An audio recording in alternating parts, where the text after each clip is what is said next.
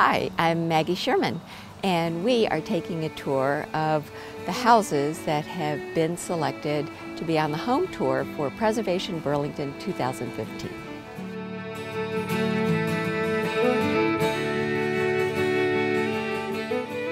This homeowner did a fabulous job with the small space of the house. She did not try to make a small space look like a big space. She honored the layout of its smallness, and it's really well done, including her garden rooms.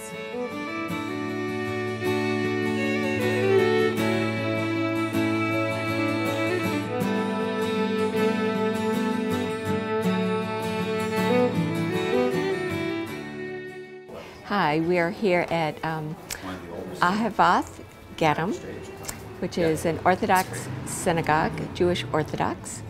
And um, Ahavath Gerim means lovers of strangers. And this has, uh, this building has beautiful architectural points of uh, faux painting of uh, stone on the walls. It's got, uh, the bima is of copper which is quite unusual.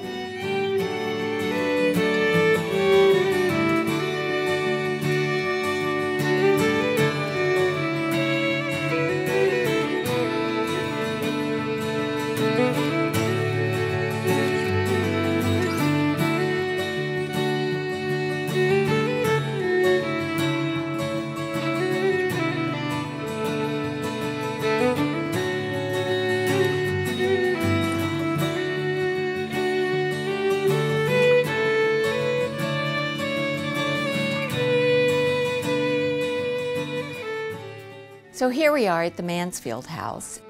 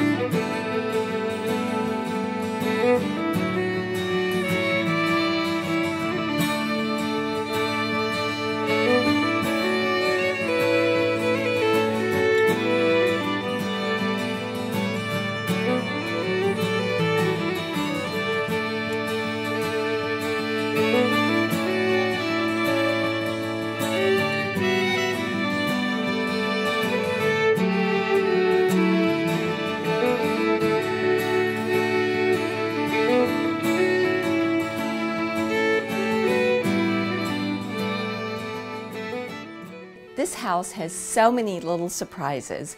One really caught my eye was this totally nondescript door underneath the staircase. And you open this door up and it is this burst of color in the tiniest little bathroom you have ever seen.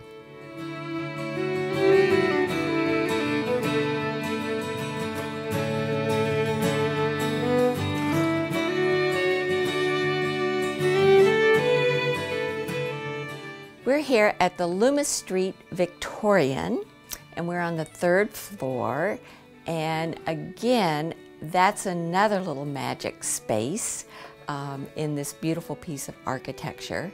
And this is, I am calling the nest because this looks like where the whole, where the family meets. It's got a game room, it's got a music aspect to it, it's got a computer aspect, it's got the, the uh, place to watch the movies. It just got everything for the family to gather um, in the nest.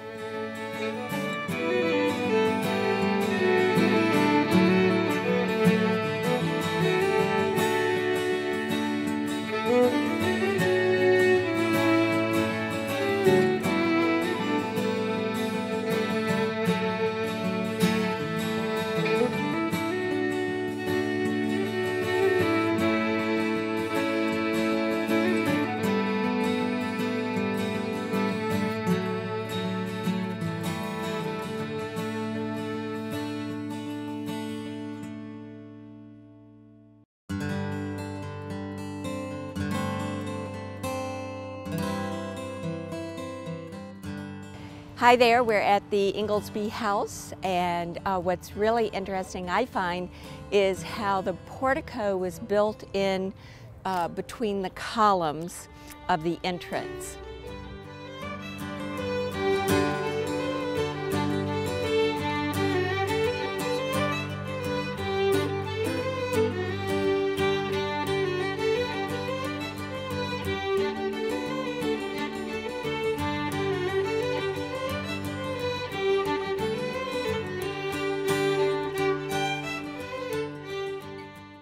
Here at Clark Russell's uh, home and studio, and this is an excellent example of a working artist living in his workspace that shares both the environment where he lives and he works. And it's a great in integration, as well as uh, a studio gallery aspect so that he can show his work.